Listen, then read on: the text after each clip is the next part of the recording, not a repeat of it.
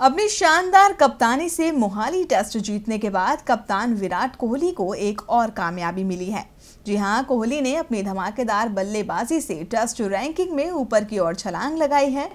ICC की ओर से जारी की गई टेस्ट बल्लेबाजों की वैश्विक रैंकिंग में भारतीय टेस्ट टीम के कप्तान विराट कोहली को तीसरा स्थान मिला है। इस रैंकिंग में कोहली अब तक की सर्वश्रेष्ठ रैंकिंग पर है।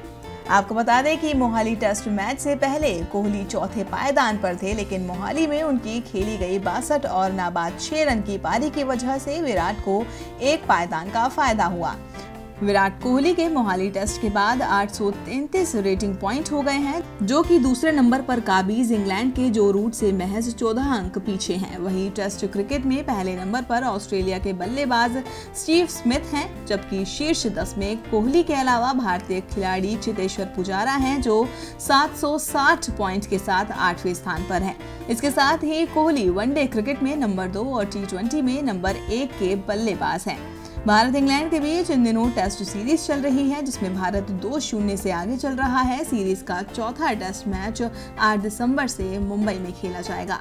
तो कोहली तीनों ही फॉर्मेट में शानदार रैंकिंग पर है और अब उनकी कोशिश रहेगी कि वो नंबर वन के खिलाड़ी बने। तो अभी भी दो तो टेस्ट बाकी है, कुछ भी हो सकता है। देखते रहिए डीबी लाइव।